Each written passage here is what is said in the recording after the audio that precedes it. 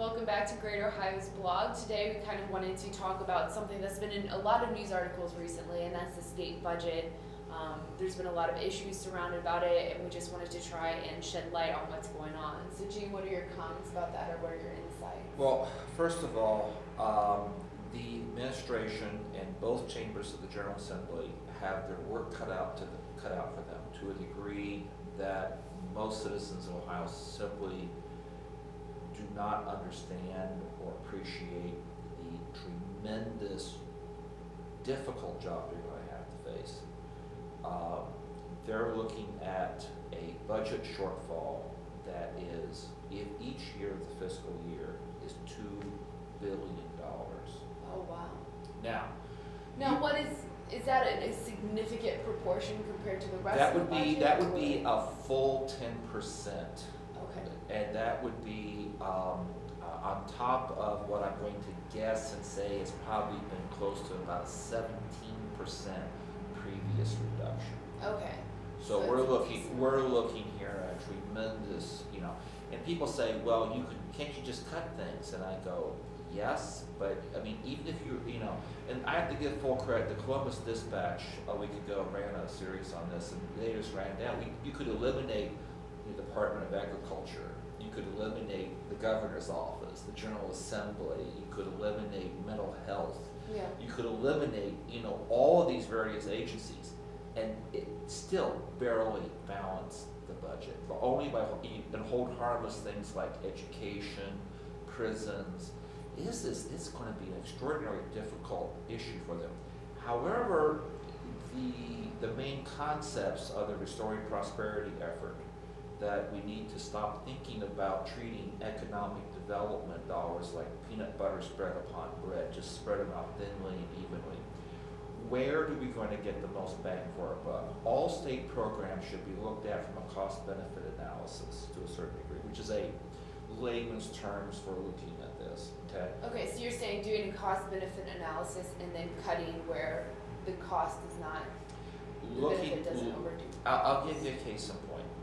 Um, you know, if we can go ahead and redirect more investment back to our existing city boundaries, Okay. rather than engaged in activities that encourage sprawl. Yeah, You know, every time you do anything that encourages sprawl, well, you have to build, you know, you have to build new roads to reach out to it. As the population moves out, you have to build new firehouses, new police stations, new schools. You have to drag with you your whole infrastructure out there to the green space.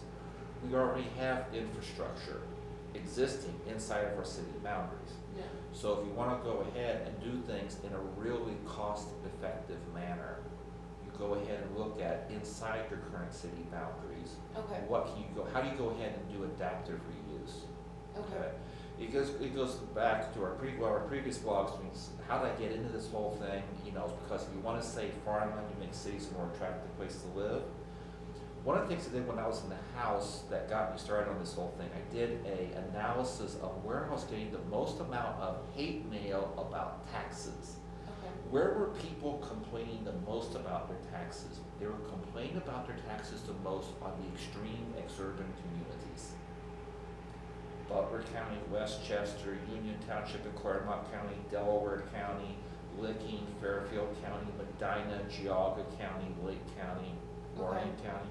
That wherever, wherever you had this, you know, sprawl going on, that was where you were getting your tax revolt Okay, and why is that? because the costs are so high, we're having to replicate all of our infrastructure, Okay. all of our quality of life all over again. And the thing that we're looking at saying, how do we target this? Okay, so in a declining state budget that's receiving cuts, restoring prosperity is essentially saying we need to see where we can redirect investment through cost benefit analysis.